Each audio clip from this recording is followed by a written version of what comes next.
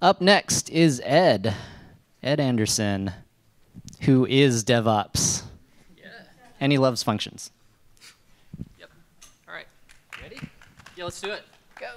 All right, so I'm Ed Anderson. I'm the DevOps manager at a company called RealSelf up in Seattle. I do love functions. I like uh, functions as a service. Some people call it serverless. Some people call it Jeff because those first two things don't actually mean anything. So, a little story. In 2015, my place of employment went to our cloud providers mega conference where our VP of engineering attended this uh, session on functions and he wrote this little API gateway that ran some node code and he was like, holy crap, this is a thing of the future. Everybody get on this right now. And we tried.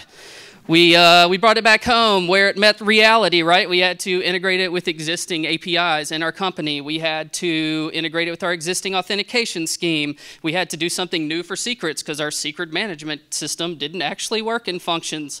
And we spent uh, a lot of time learning, and in the end, the project did not work, even though it's just code, as we all know from the marketing material. So yeah, that was really uh, was really a barrier for success for us. I mean, we had to learn too many things. We had a quick deadline. In the end, it didn't come together. Uh, that project got scrapped. Oh crap! So now my company we use actually zero uh, sysadmin VMs. We do all of our administrivia with functions, and I think that's something you can do now. In my company, we know how to operate this, and we use it. So let me ask you a question. Who's got a cron box? Who's ever taken a webhook? Feel free to raise your hands. Uh, all of these things are great starts for using functions because they're not mission critical in the general case. So the first barrier for you adopting this is going to be to find simple use cases. We used webhooks. We used sysadmin glue, um, and we learned how to operationalize this. We did like cluster backups, things that don't fit well into configuration management. Second barrier, you got to love your cloud. You got to know your cloud. It is true you can run code without worrying about servers, but you're going to move a lot of that uh, heavy lifting out to your cloud. The third barrier you're going to find is going to be cost. Uh, if you take a function that needs one gig of RAM that runs for one second every second for a month, that's going to cost you 36 bucks. Sounds cheap, right? Change the runtime to five seconds, it goes up over 200 bucks a month. Change the runtime to 10 seconds, it's 425. You're running instances cheaper than that, right? So it's not perfect. It's good. There are some other barriers to adoption that you're going to use. When you start using FaaS, you know what I see in your future? Deploy, observe, deploy, observe, deploy, observe. In your future, I see rough edges like learning what your cloud means by at least once invocation semantics. You're going to get other, other surprises, like in local dev. Say your object store doesn't actually pass the binary content of a new file and it passes a message to your code. Do you think you can create that in local dev? I bet not. Uh, you get other problems like CI looks a little bit different, deployment looks a little bit different, log aggregation looks a little bit different, and if you don't know how to observe what's happening with this stuff, it's going to burn you, friends. So you get other things like you get weird cloud code smells. Your level 4 network config permeates through all of the code that you write in all of your deployments. You get weird things like the global scope of functions actually persists between runs under certain conditions. Surprise! Yeah, so why do this? This sounds terrible, right?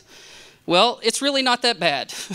Under many conditions, it is cheaper. Uh, and the operating model, once you understand it, it's pretty compelling, even for those of us that are tasked with operations. Imagine a world where knowing Unix isn't a prerequisite to success. Imagine a world where you don't have to update OpenSSL three times a month on every machine you run. Imagine a world where your exposure lies entirely in the code that you run.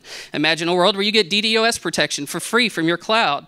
There's things you can do for zero dollars if they run for infrequent periods, tell your boss, hey, boss, we can do this thing. It'll cost us $0 a month. In your imagination, make that a revenue generating event for your company. Sounds kind of appealing, right?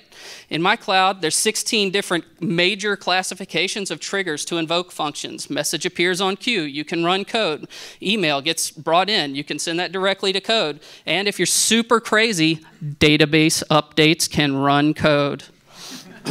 There's other weird little tricks like once you get to using these things, you'll find you actually don't have to send your own code in at all. You can pipe the API, the uh, HTTP gateway, directly into the object store and bypass all of the built-in authentication on that.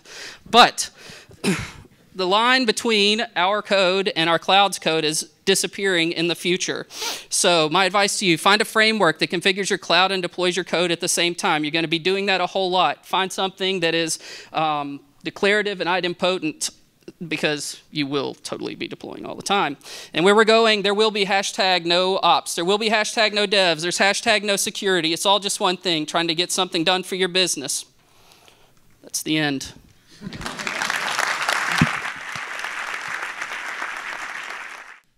Awesome job. And well